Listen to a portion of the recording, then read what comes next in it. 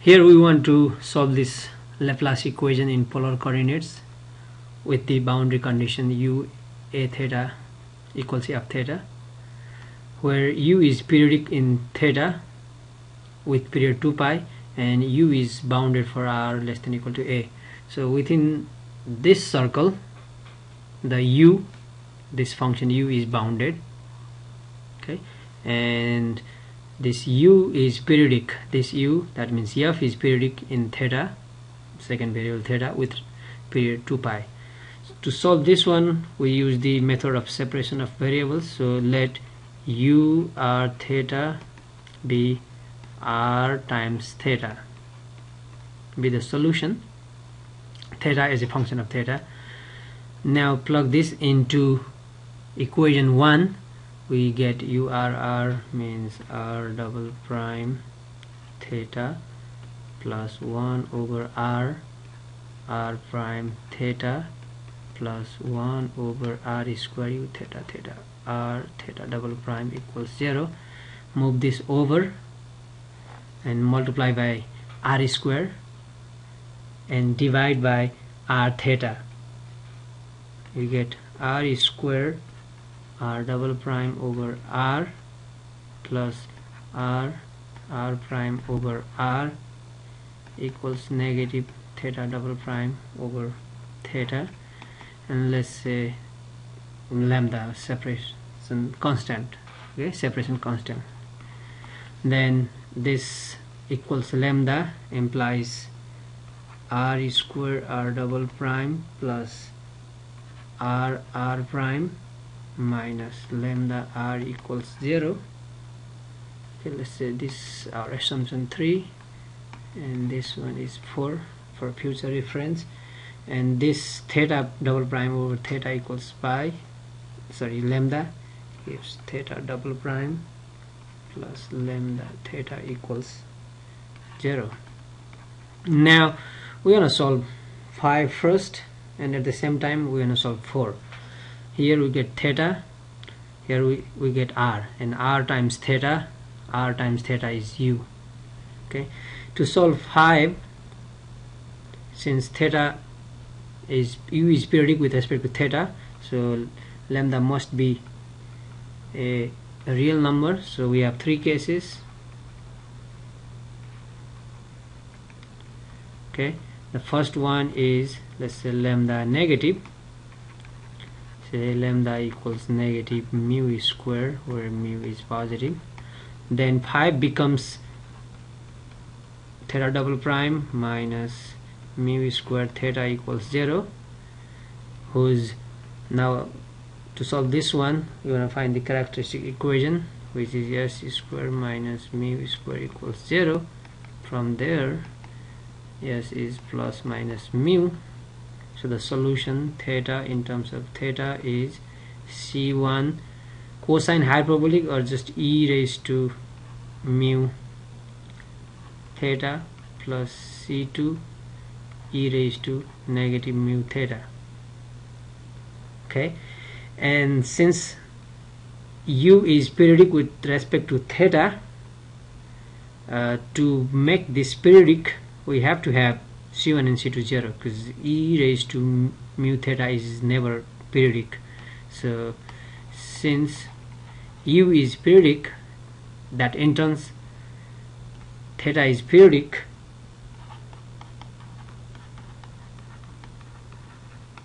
We must have c1 and c2 both constant 0 that means this solution is trivial solution.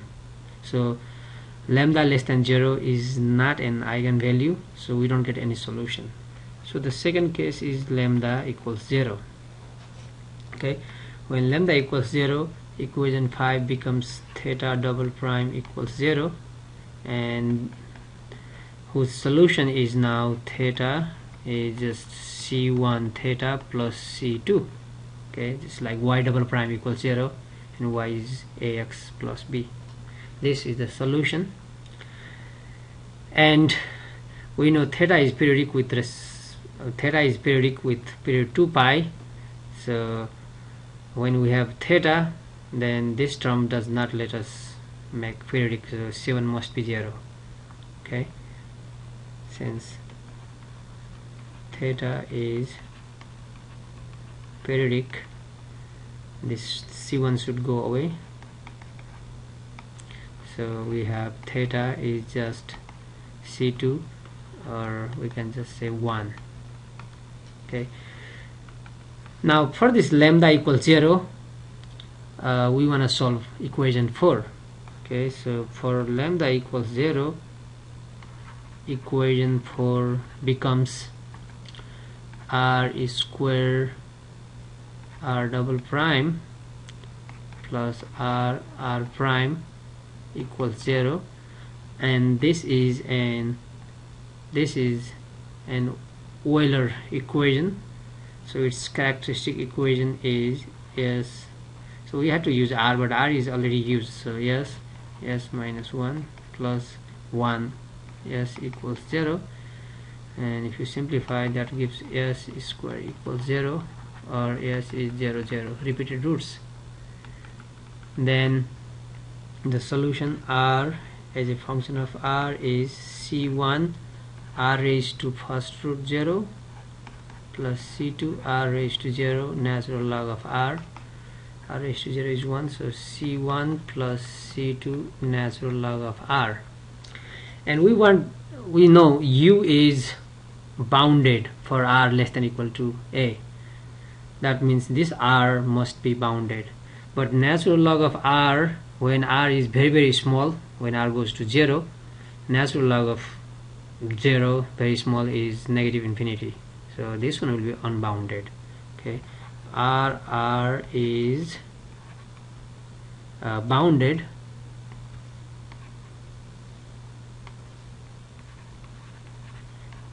When c2 equals 0 for r goes to 0 when r goes to 0 natural log of r is kind of negative infinity so c2 must be 0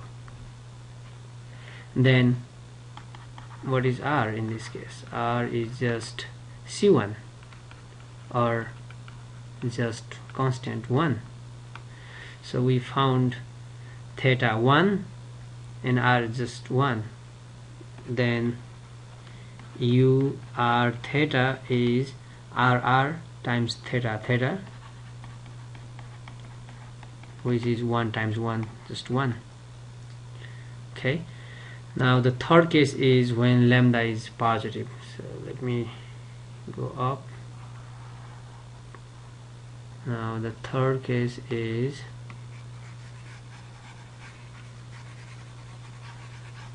so so far when lambda equals 0 we got the solution u equals just 1 now the third case is lambda positive. In this case say lambda equals mu square where mu is positive. For this lambda 5 becomes theta double prime plus mu square theta equals 0 whose characteristic equation is s squared plus mu squared equals 0 so s equals plus minus mu i. That means the solution theta is c1 cosine mu theta plus c2 sine mu theta. Since theta is periodic with respect to theta is periodic with period 2 pi mu must be a positive integer. Okay so since theta is periodic with period with a period 2 pi mu must be a must be a positive integer. Okay since theta is periodic with period 2 pi mu must be a positive integer. Thus theta is c1 cosine n theta plus c2 sine n theta for n bigger than equal to 1 now we need r in this case. So when lambda is positive now we want to solve equation 4 okay now from equation 4 we get if you look at carefully equation 4 is a is an Euler okay?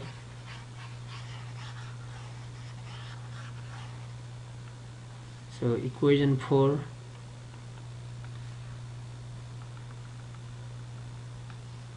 with our with lambda equal I mean with mu equals n. So lambda is mu square. Mu is n so this is n square. So we get r r square r double prime plus r r prime minus lambda is mu square which is n square r equals 0 this is Euler. So the characteristic, characteristic equation is s s minus 1 plus 1 s minus n squared equals 0 which is this one is now s square minus s plus s cancel minus n square equals 0 so s is just plus minus n then r is c1 r raised to plus n. C2 r raised to negative 1 is solution. And we want r to be bounded. When r goes to 0 when r is very very small this one blows up. That means r is bounded when c2 is 0 for are very small. When r is very small this blows up. We don't want we don't want that. That means c2 must be 0 so r is just constant some constant times rn. C1 is already used. We should have written some other let, let me write down a rn. So we have r and we have theta. Thus u r theta is just r times theta. We just found r which is a constant. I'm writing different because c1 is already used a rn and theta was found c1 cosine n theta plus c2 sine n theta. Okay let me go back okay let's multiply through. So a times c1 that will be another constant. Okay a times c1 so rn cosine n theta plus a times c2 that will be another constant rn sine n theta. In fact this solution is a linear combination of rn cosine n theta and rn sine n theta so we can say these two are also the solution okay? So let me go back. So we have a solution u equals a linear combination of these two solutions and from case 2 when lambda equals 0 we have 1 so in fact we have three solutions okay? So I want to erase something here and say thus the solution uh, are there are three and they are called fundamental solutions. In fact they form a fundamental set of solution. Thus 1 when lambda equals 0 we are getting 1 and we just found a linear combination of two. So the first one is r n cosine n theta and rn sine n theta. This set forms a fundamental set of solutions. Now their linear combination is the solution. So said the solution u r theta is just a linear combination. A constant times 1 let's say the constant to be c naught over 2 times 1 okay there is a reason to write in this way.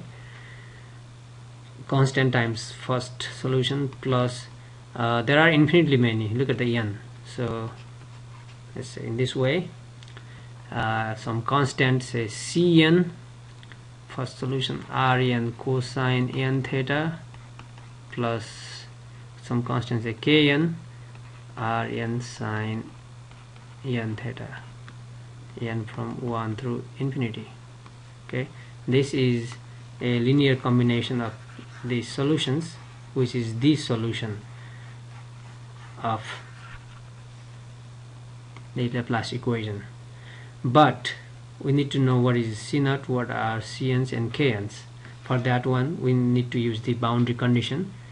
So using the boundary condition u when a theta when r equals a we are given a function. When we use this one we get u a theta equals f theta r equals a. So this is c naught over 2 plus sum and from 1 through infinity. Cn r is a a n cosine n theta plus kn an sine n theta. Now if you look at carefully this is just a Fourier series for this function. Okay page 588 if you look at page 588 mm, this one is just uh, an's this is a naught over 2 an and this is say bn so page 588 of your text this is just a Fourier series expansion for f theta and we know how to find the constants okay? Then the c and an c and an those are given by 1 over L half of the period period is 2 pi so 1 over pi. Negative pi to pi which is same as 0 to 2 pi f theta and this cosine n theta d theta. And this is true for n equals 0 1 2 everything. Okay? When n equals 0 we get c 0 so we get c naught. We wrote c naught over 2 just to match this with the Fourier series expansion. And the second constant kn an is 1 over pi 0 to pi f theta sine n theta d theta. Okay? So the solution of this Dirichlet problem is given by u r theta here.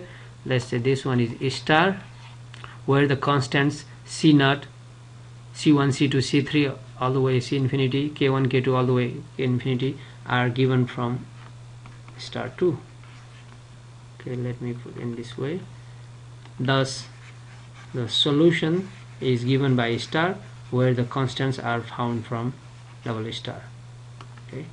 The solution is given by star where the constants are found by double star